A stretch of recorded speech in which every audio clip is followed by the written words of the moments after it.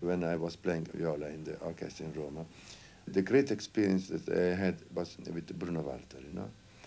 The first time that I, I played under Bruno Walter, I was the 12th viola, the last viola in the group. And uh, I remember, I will never forget the first Brahms. On the end of the first Brahms, I had the impression that I had played a concerto, a symphony for viola, for 12 viola solo and orchestra, you know?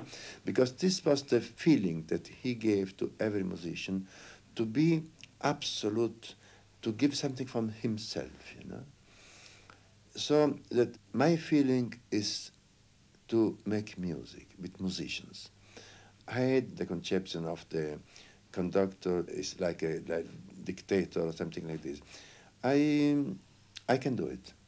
I am a musician and I have the greatest respect for the musician of the orchestra.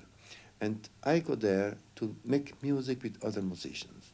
Yes, of course, uh, somebody has to conduct, in this case, this is me.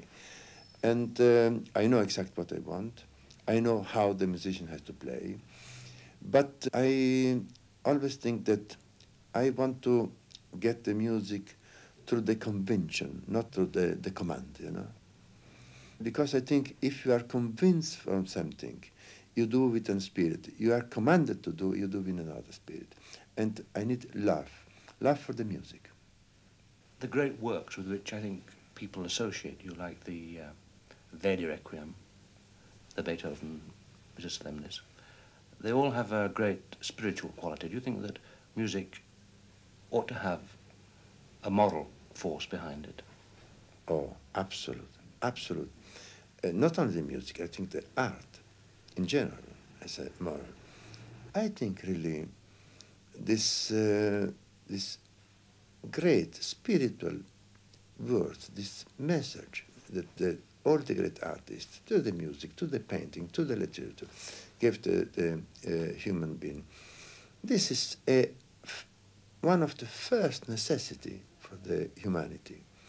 Now, the science gave unbelievable improvement to humanity, but the man, the human being, has two hands, two limbs, and one heart, like 10 million years ago. Then the man needs love. And you, you get this from the machines? You can get the, the, the uh, love from the machine. No, you get this from a human feeling of the life and the art, and in our case, the music, give to everybody one great thing, hope. We need hope. We, if, if, if we don't have hope, what we can do? Don't you think that we are lucky if we work in music which has a terrific element of mystery about it? So many people have no mystery in their lives whatsoever. You're right. It's very, it's very right and very beautiful what you say.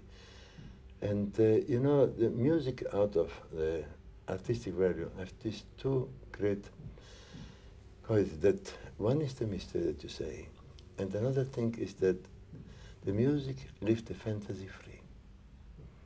Then the music uh, speaks to everybody different.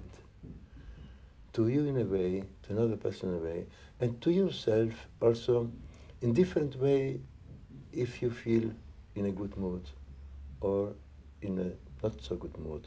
The same music, the same performance can sound to you to speak to you in a different way, depending how, how, you, how you are ready to upset. Yeah.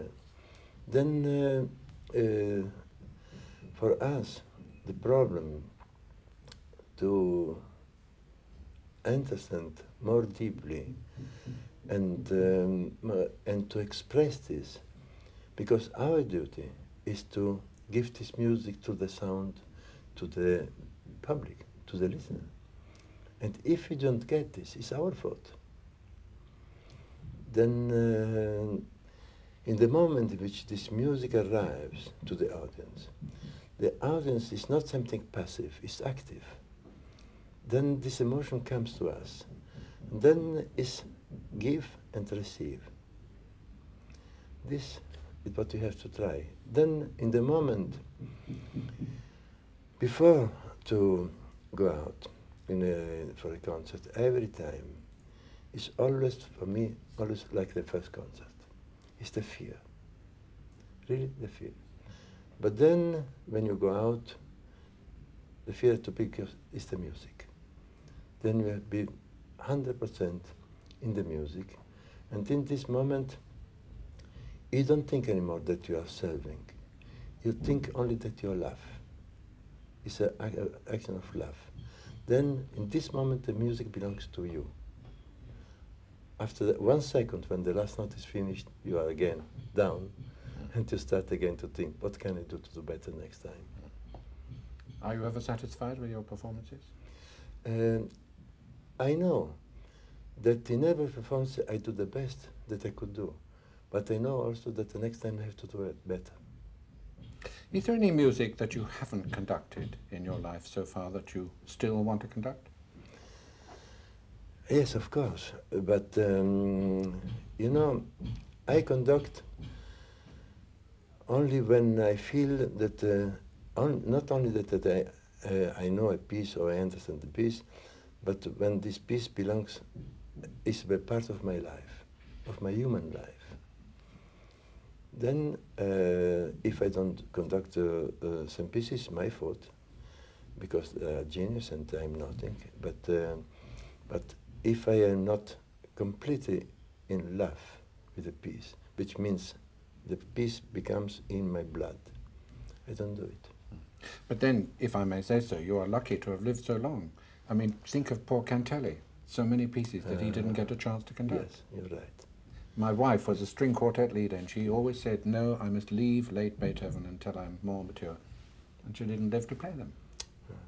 So, yes, uh, don't wait too long.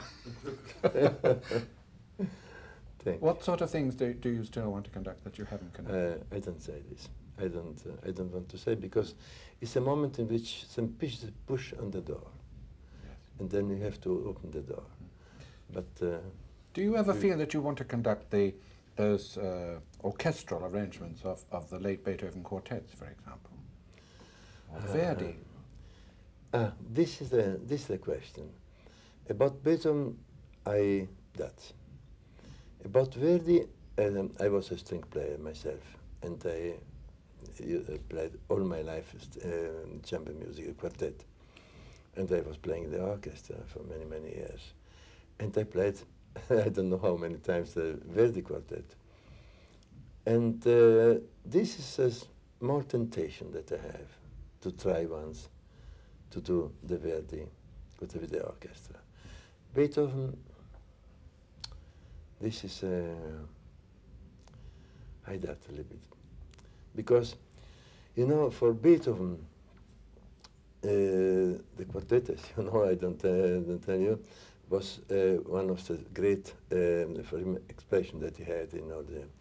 For Verdi, this the, the quartet has been an exercise. Well, uh, he, you know, uh, between uh, Aida and Otello, he worked for 10 years, between Otello Falstaff 11 years, to, and the then the quartet was for him just to see if uh, an exercise. And it's only one. It's the only one. And in, in any case, the conception of Verdi has been always a, an orchestral conception. In, in Beethoven, the quartet is really quartet conception, chamber music. Then um, uh, with Beethoven, I should be very careful, and uh, I, I don't think I should do it.